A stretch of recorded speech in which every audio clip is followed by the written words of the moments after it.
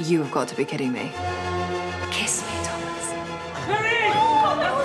What the bally heck is going on? I think it's sick. What?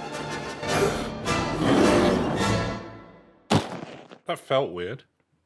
You have no idea.